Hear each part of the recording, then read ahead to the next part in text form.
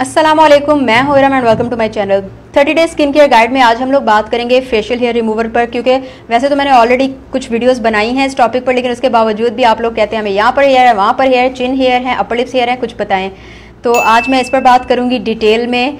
लेकिन एक चीज़ मैं आपको पहले ही बता दूँ कि अगर आप लोग कहते हैं ना कि हमें परमानेंट हेयर रिमूवल सोल्यूशन बताओ तो एटलीस्ट मेरे पास बिल्कुल ऐसा कोई सोल्यूशन नहीं और जितना मुझे आइडिया है कोई ऐसा सोल्यूशन नहीं कि आपके हेयर परमानेंटली रिमूव कर सके। लोग कहते हैं ले, लेज़र से परमानेंटली हेयर रिमूव हो जाते हैं लेकिन लेज़र ने भी अब अपने आप को लेज़र हेयर रिमूवल की जगह लेज़र हेयर रिडक्शन कहते हैं। क्यों? क्योंकि छः से दस महीने के बाद उसमें भी आपके हेयर वापस आ जाते हैं। क्योंकि ये एक नेचर का हिस्सा है और नेचर को आप कभी भी चेंज नहीं कर सकते। तो सबसे पहले हम लोग बात कर लेते हैं इसके रीजंस क्या होते हैं। रीजंस इसके बहुत लिमिटेड से हैं। एक तो ये कि अगर आपकी जेनेटिक्स में है, आपकी फैमिली में, अगर आपके पेरेंट्स आपके बहन भाइयों में से किसी को एक्सेस हेयर का प्रॉब्लम है तो आपको भी हो सकते हैं। उसके अलावा कुछ मेडिसिन हैं ऐसी जो कि आपको, आपकी हेयर ग्रोथ बढ़ा सकती हैं। फिर अगर आपको हार्मोनल इशू है स्पेशली जिनको पी थायराइड वगैरह का प्रॉब्लम होता है, उनको एक्सेस बॉडी हेयर का प्रॉब्लम होता है। फिर जो आप लोग गोरा होने वाली क्रीमें और इसी तरह की क्रीम्स लगाते हैं, वो स्टीरॉयड से भरी होती हैं तो उनकी वजह से भी आपके हेयर ज़्यादा हो सकते हैं। और उसके अलावा हम लोग जब अपना वेट लूज़ करने के लिए या इसी तरह अपनी बॉडी शॉडी बनाने के लिए जब लोग सप्लीमेंट्स लेते हैं, उनमें भी स्टीरॉयड्स वगैरह होते हैं तो उससे भी आपकी बॉडी पर एक्सेस हेयर हो सकते हैं। फेशियल हेयर की अगर हम बात करें तो ज़्यादा हेयर जो तंग करते हैं फीमेल्स को, वो है आपके अपर लिप्स का एरिया आपका चिन एरिया आपके साइड बर्न्स आईब्रोज का एरिया और आपके फोरहेड पर। पूरा फेस इसमें कवर हो गया तकरीबन।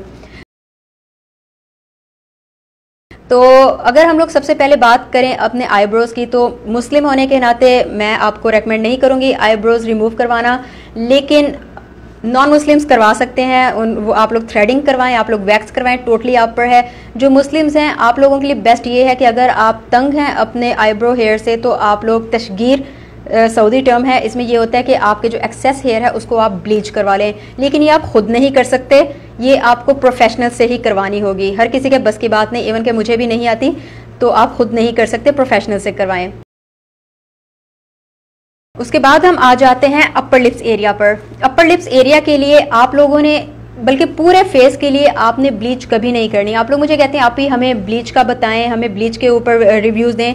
आपने फेस पर कभी भी ब्लीच नहीं करनी, क्योंकि उसमें इतने हार्मफुल केमिकल होते हैं कि बेशक वो आपके हेयर को वाइट कर देते हैं येलो कर देते हैं, लेकिन अगर आपका स्किन टोन डार्क है तो उस पर आपने देखा होगा कि ब्लीच के बाद अजीब से आपके बाल लगते हैं स्पेशली जिनके एक्सेस हेयर होते हैं तो वो अजीब से लगते हैं। और उसके अलावा उसमें इतने हार्श केमिकल्स होते हैं कि वो आपकी स्किन को डैमेज कर देते हैं। तो मैं आपको हाईली रिकमेंड करूँगी कि आपने ब्लीच अपने फेस के किसी एरिया पर नहीं करनी। हाँ आप आर्म्स पर करते हैं लेग्स पे करते हैं, बाकी किसी भी बॉडी एरिया पर करते हैं it's totally up to you बाकी आपने अपर लिप्स के लिए वैक्स नहीं करनी। लोग वैक्स करते हैं, अगर आपके हेयर बहुत थिक हैं और लंबे हैं, आप वैक्स कर सकते हैं। लेकिन आपने देखा होगा अपर लिप्स पर इतने ज़्यादा थिक या लंबे हेयर नहीं होते। तो उसका वैक्स का फिर ये नुकसान होता है कि आपके हेयर पूरी तरह से बाहर नहीं निकलते।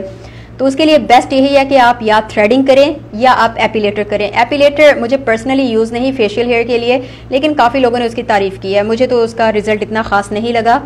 तो आप थ्रेडिंग या एपिलेटर कर सकते हैं। फिर आ जाता है आपका चिन एरिया चिन एरिया के लिए आपने कभी भी जो आपको हेयर होते हैं, आप में से अक्सर लोगों को ये प्रॉब्लम होती है कि हमने एक हेयर था, उसको निकाला, अब हमारे तीन चार और हो गए हैं। तीन चार थे, हमने उसको प्लग किया, अब हमारे पाँच छः और हो गए हैं।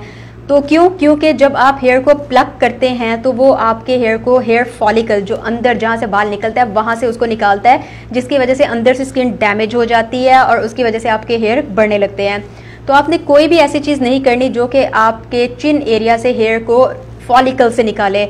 उसमें आ जाता है, ना, आप थ्रेडिंग करोगे। वैसे मैं कहती हूँ, आप थ्रेडिंग करो। लेकिन रिसेंटली एक रिसर्च से मुझे पता चला कि threading is not good plucking is not good waxing is not good क्योंकि ये सारे आपके हेयर फॉलिकल को अंदर से हेयर निकालते हैं, जिससे आपके स्किन डैमेज हो सकती है।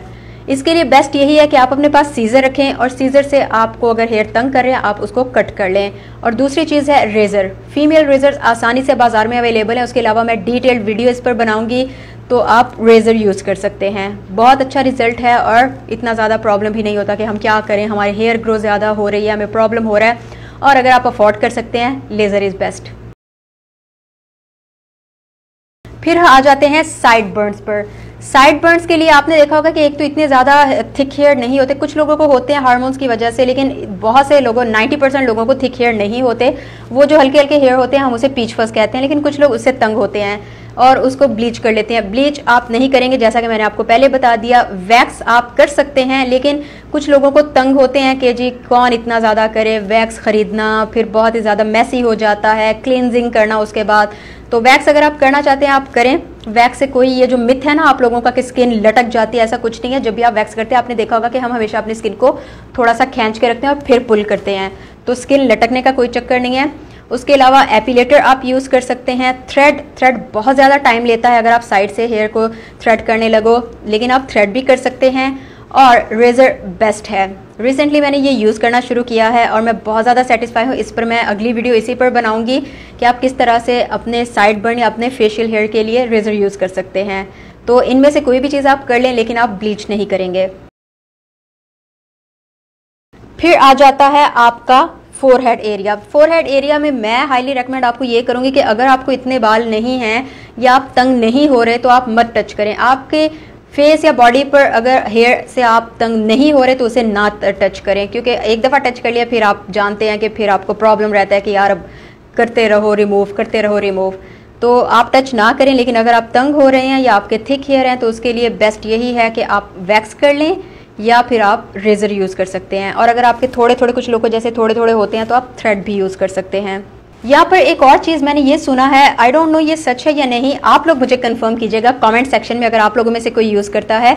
मैंने ये सुना है कि जब आप अपने हेयर को रिमूव करते हैं, चाहे आप थ्रेड यूज़ करें आप प्लकिंग कर रहे हैं, आप वैक्स कर रहे हैं, कुछ भी आप कर रहे हैं, उसके बाद आप फटकरी, जिसको एलम भी कहते हैं, वो आप लें और उसको आप अपनी स्किन पर रब कर लें, जहाँ से भी आपने हेयर रिमूव किया है। तो आपके हेयर ग्रोथ कम होती है और लाइट हेयर आते हैं।